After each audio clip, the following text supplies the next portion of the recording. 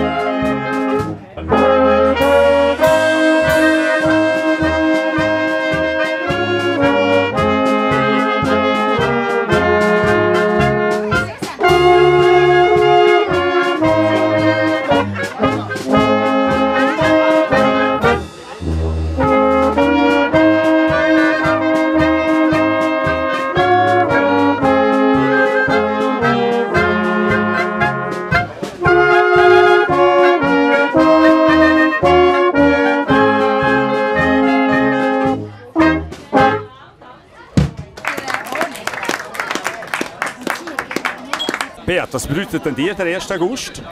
Ja, für mich ist der 1. August ein bisschen ein Tag äh, der Besinnung, wo man noch durchaus besinnliche Momente einnehmen kann. Gleichzeitig ist es aber auch doch entscheidend, dass man sich auch Milizsystem, das die Schweiz sehr erfolgreich gemacht hat, da so würdigen tut. Und deshalb ist für mich durchaus so wichtig, einmal einen 1. August Ansprache zu hören, weil auch das, denke ich, ist eine Tradition, die wir pflegen ich weiß, ich darf dich niemals verlieren. Ich geh baden bis ans Ende der Welt, ohne ein noch mit aufzuruhen. Eine Liebe, das ist alles, was zählt, und für dich will ich alles. Weil ich fühle, dass in dem Horizont irgendwann gewahre, bis ans Ende der Welt. Ich gehe bis ans Ende der Welt.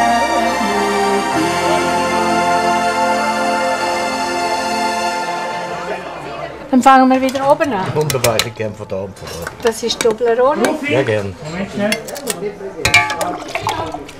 Und das ist Himbeer. Wunderbar, danke vielmals. Hoppla, Entschuldigung. Kein Problem. Das wäre passiert. Soll ich halbes machen oder ein Viertel, Drittel? Äh, Hals, sehr schön.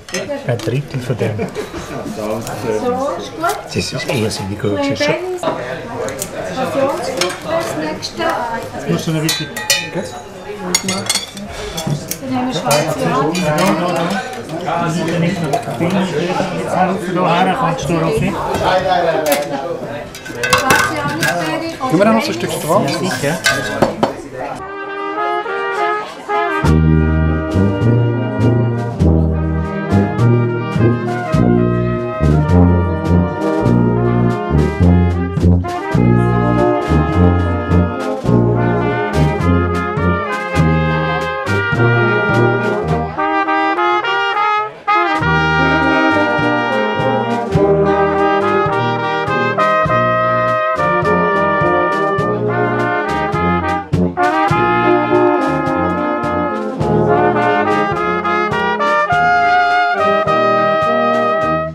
Markus Oppliger, 1. August Zoll, grammelt, voller Parkplatz, Zwangsonne.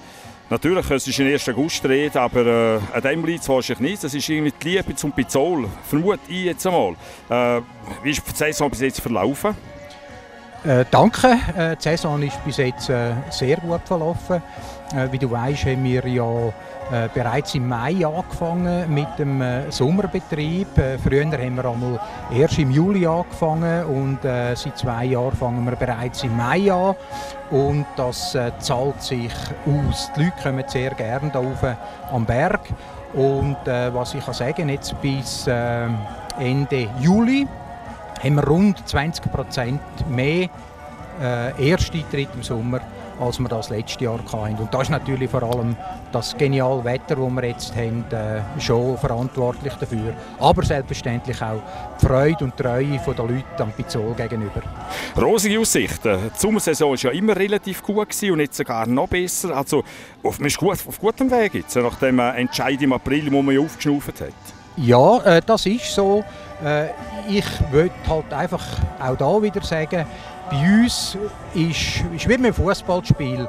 Äh, wir kennen das Resultat, wenn der Schiedsrichter abpfeift. Und bei uns ist das Spiel fertig, wenn das Geschäftsjahr oder die Saison fertig ist. Wir haben das letzte Jahr gesehen, wo wir auch hervorragend gestartet sind.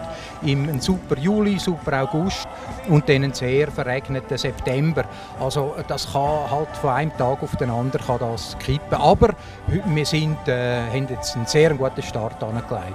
Das Wetter kann man nicht beeinflussen, aber natürlich eben das Engagement von denen, die im Pizzol arbeiten und eben auch das Engagement von denen, die eben den Pizzol nach außen tragen. Also eins muss ich sagen, der Pizzol ist und bleibt beliebt. Es wäre jammerschade gewesen, so etwas zu opfern, oder? Ja, da bin ich auch der Meinung. Äh, Das ist auch ein Grund, wieso dass der Verwaltungsrat, die Geschäftsleitung, alle Mitarbeitenden zusammen mit den Vertretern von aus Politik und Behörden und vom Kanton, wir haben gekämpft und äh, ja, äh, wir sind natürlich extrem dankbar, haben nachher die Bevölkerung bei diesen Abstimmungen äh, so, so tolle Ergebnisse äh, gebracht. Du bist jetzt Verwaltungsratspräsident in dieser schwierigen Zeit. Hast du es nie bereut? Wie ist es jetzt dir so gegangen? Schlaflose Nächte gehabt, oder wie sieht das aus? Also schlaflose Nächte äh, im, im eigentlichen Sinn habe ich nicht gehabt, aber man kann sich schon vorstellen, dass vor allem die Zeit äh, vor diesen Abstimmungen die ist relativ äh, happig gewesen.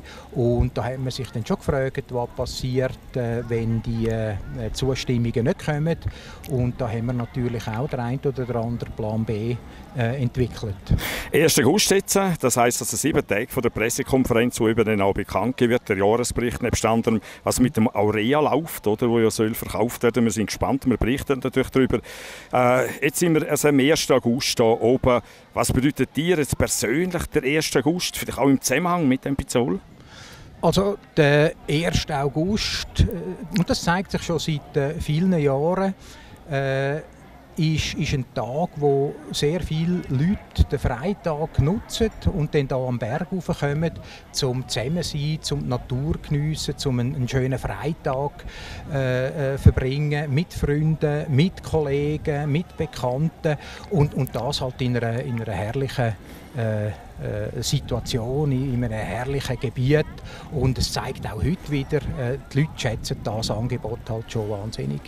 Wir sind jetzt auf der Fort, also wir sehen hinten die grauen Hörner, links Fort, rechts Alpine, es hat einen Haufen andere Restaurants. Wir kennen natürlich aber auch den Zubringer Bad Ragaz, wir kennen das Problem von den zwei Zubringern. Aber in den verschiedenen Gesprächen, die ich habe, stelle ich fest, die zwei Zubringer, die braucht es irgendwie. Und da müssen wir auch sagen, auch die Ragazza-Seite natürlich extrem viel zu bieten, dass man kann gar nicht abschätzen was ist jetzt wo. Es ist ein Gesamtheitswerk, der Pizzol irgendwie.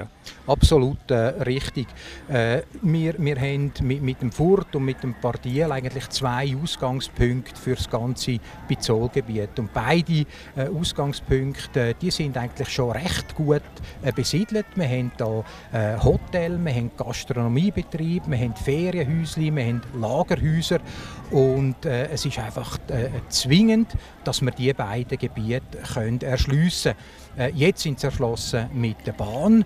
Ob das in 20, 30 Jahren auch noch so ist, das kann ich heute natürlich noch nicht sagen. Klar ist aber, dass wir unbedingt schauen müssen, dass wir die Gebiete können erschliessen können und dass die Leute von da aus können, äh, dann ihre weiteren Aktivitäten, sechs im Sommer oder sechs im Winter, wahrnehmen und jetzt wird es noch hoch nostalgisch. 1. August lässt grüßen, kurz vor der Ansprache von Marc Mechers. Es geht noch sechs Minuten. Wir hören die Alphörner. Ich gehe mir mit auf, he? Ganz genau.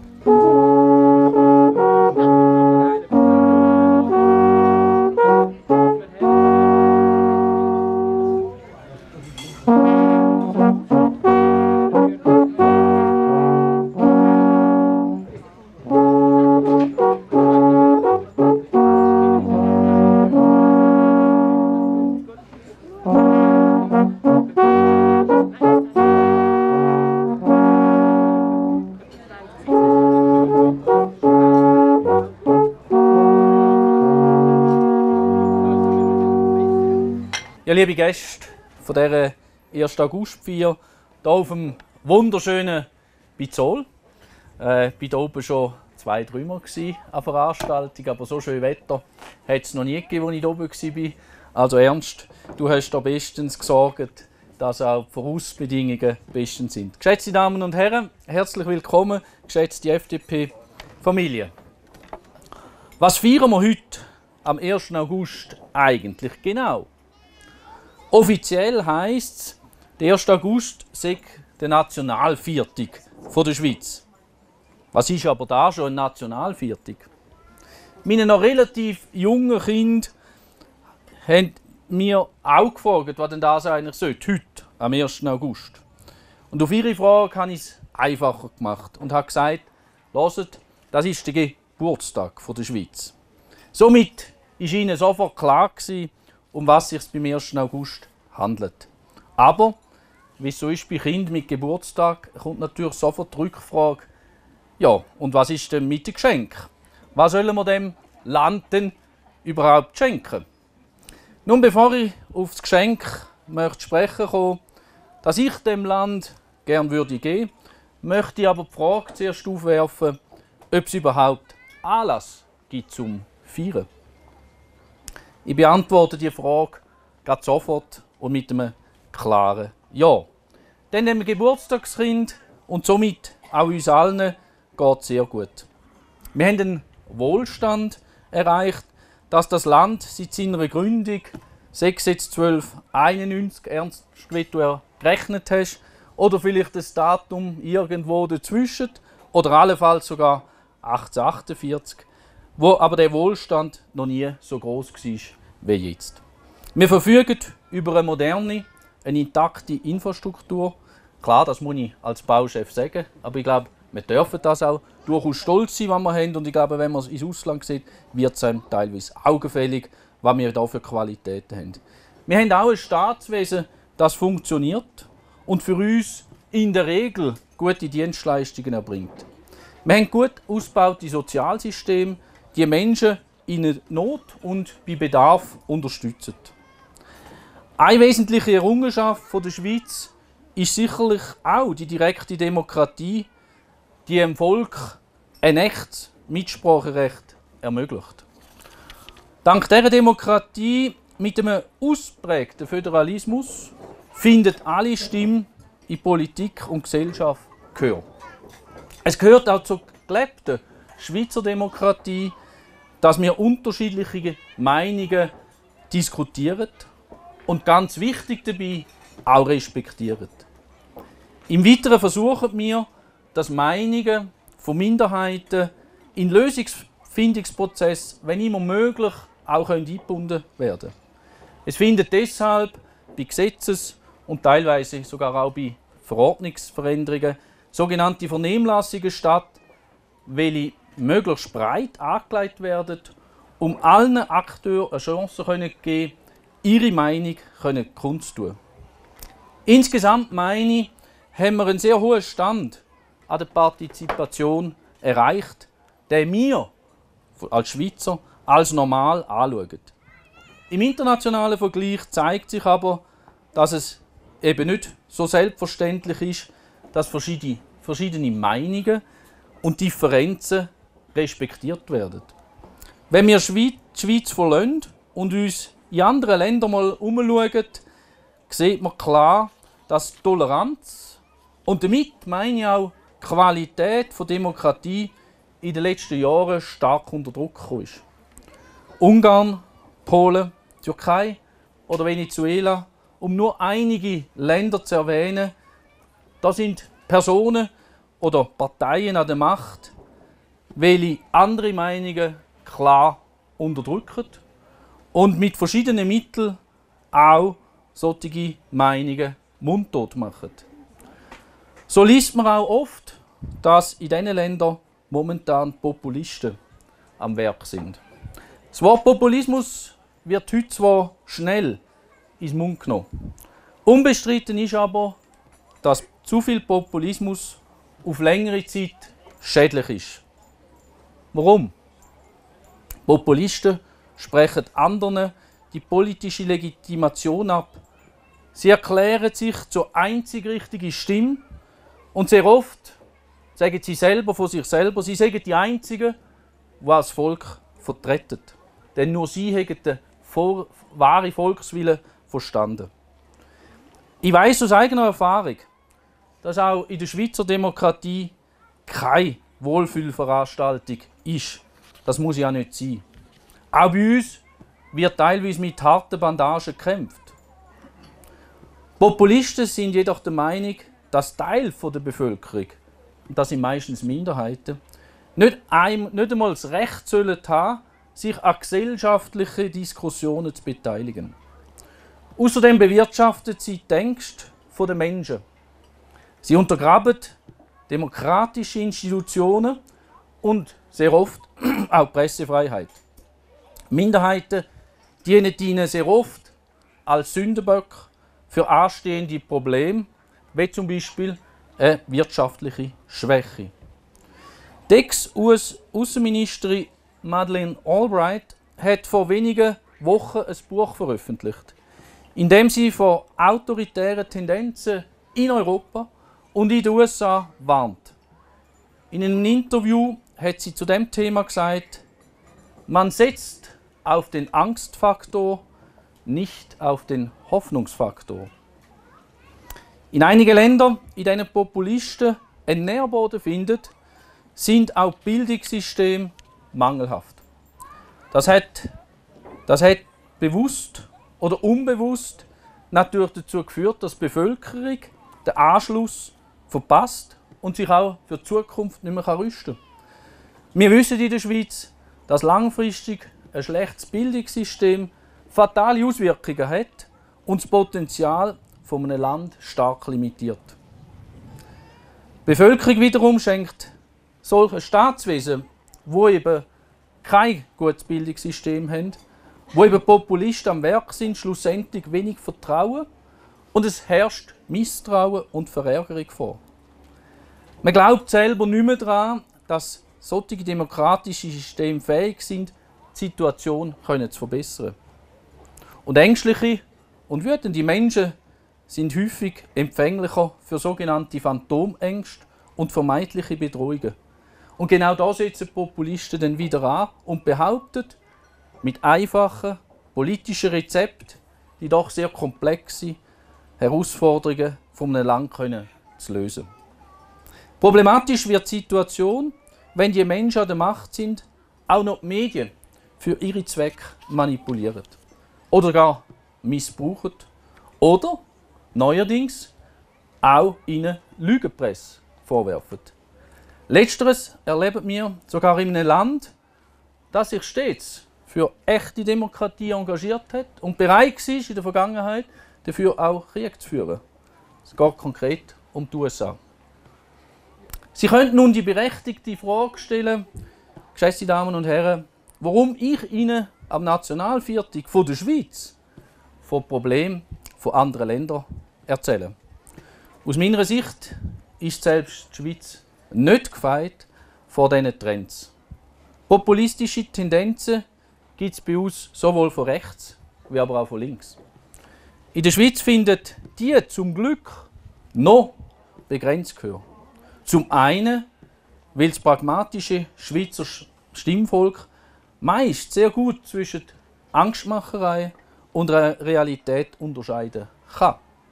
Zum anderen, weil unsere Bevölkerung ein feines und sehr geübtes Gespür für politische Prozesse hat. Das insbesondere, weil sie in der Regel alle Quartal an Turnen gerufen wird. Bei uns ist es in der Regel nicht so, dass man eine andere Sache meint und dafür jemanden abstraft, sondern meistens sind bei unseren Abstimmungen geht's effektiv um die Sache, um die, wo die Abstimmung ist. In anderen Ländern lässt sich das grüßen. Da stimmt man teilweise über ganz andere Sachen ab als der effektiv sachliche Kontext.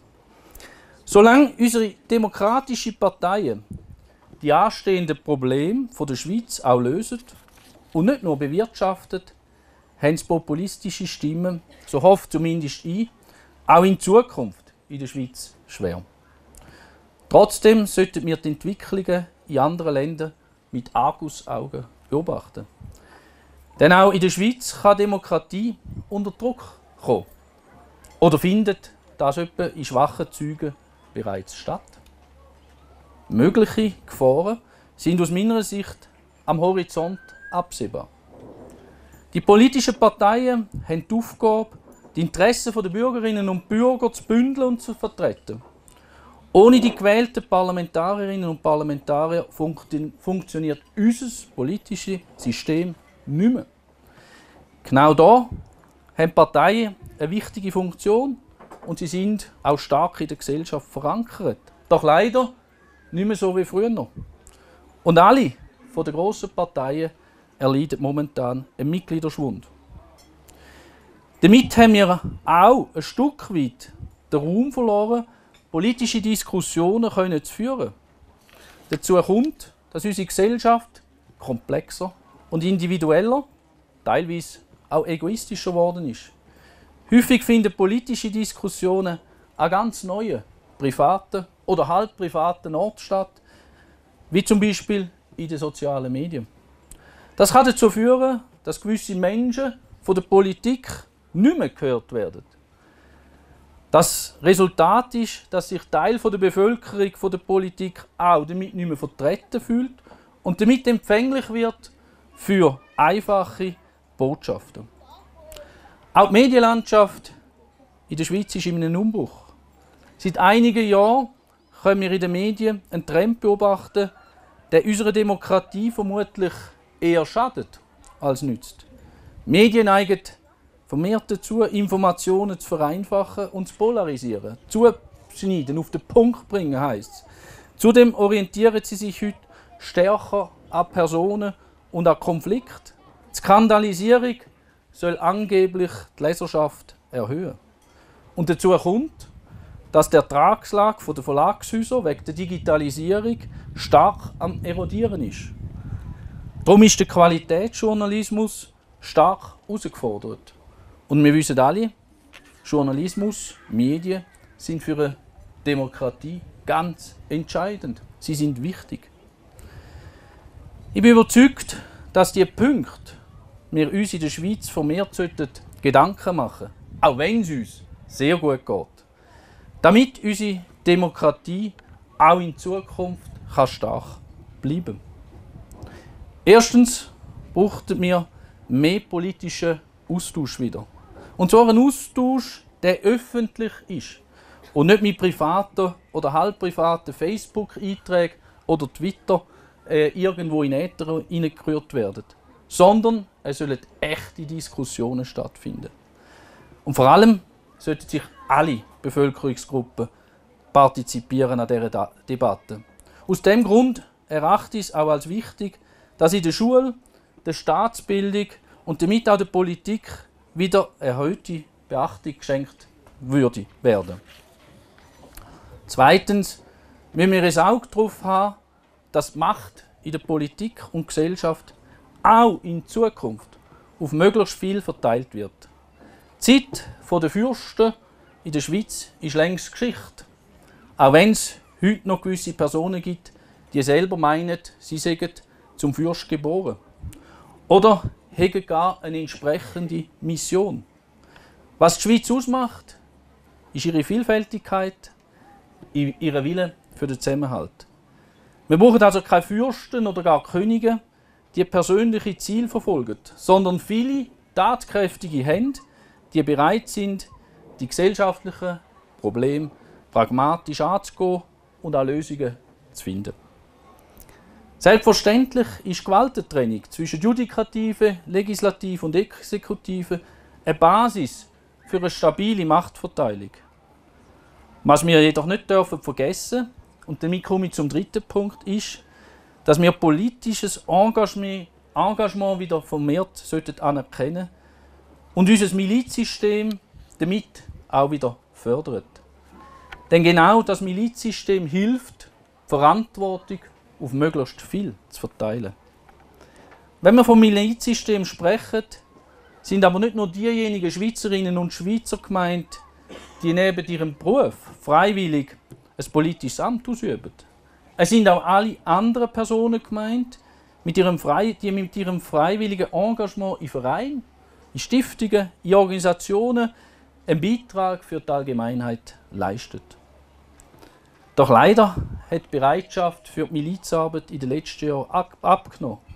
Die Arbeitswelt und auch das Privatleben sind zum Teil komplexer, viel brüchiger geworden und damit finden viele Leute keine Zeit mehr, oder sie meinen es zumindest, keine Zeit mehr, um sich freiwillig engagieren Deshalb möchte ich an dieser Stelle auch allen herzlich danken, die im Vorfeld von deren 1. Augustfeier freiwillig hier auf dem Pizol Arbeit geleistet haben und dazu geführt haben, dass wir heute die vier dürfen hier oben äh, äh, feiern. Herzlichen Dank all denen. Ich denke, es wäre eine schlechte Lösung, all die Entwicklungen, nicht die vier jetzt, all die Entwicklungen, die ich vorhin aufgezählt habe, stillschweigend zu beobachten. Wir sollten Demokratie nicht als selbstverständlich betrachten. Insbesondere gewisse Entwicklungen im Ausland sollten uns vor Augen führen, dass unsere gelebte Demokratie, auf die wir durchaus auch stolz dürfen sein, ein sehr zartes Pflänzchen ist, dem, jeder, dem immer wieder auch Sorge getragen werden muss. Wir haben ein äußerst austariertes, föderales und direktes Demokratiesystem entwickelt über die Jahrhunderte.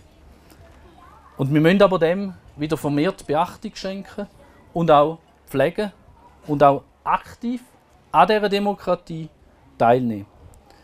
Lassen Sie mich deshalb am Schluss von meiner Rede nochmal auf meine ganz am Anfang aufgeworfene Frage betreffend dem Geburtstagsgeschenk zurückkommen. Ich wünsche mir, Geburts ich mir als Geburtstagsgeschenk für die Schweiz, dass wir wieder vermehrt zur alten Tugend zurückkehren und uns fragen, was wir der Gesellschaft können helfen anstatt nur auf uns selber zu schauen. Zum anderen wünsche ich mir, dass wir wieder mehr Interesse an politischen Diskussionen zeigen, uns einbringen und damit einen wichtigen Beitrag zur positiven Entwicklung der Schweiz werden leisten. Wer also zukünftig lieber Akteur als Zuschauer will sein, der ist aufgefordert, aktiv zu werden und sich zu engagieren. Das Ganze im Interesse von unserem Geburtstagskind, unserer Schweiz. Besten Dank für Ihre Aufmerksamkeit.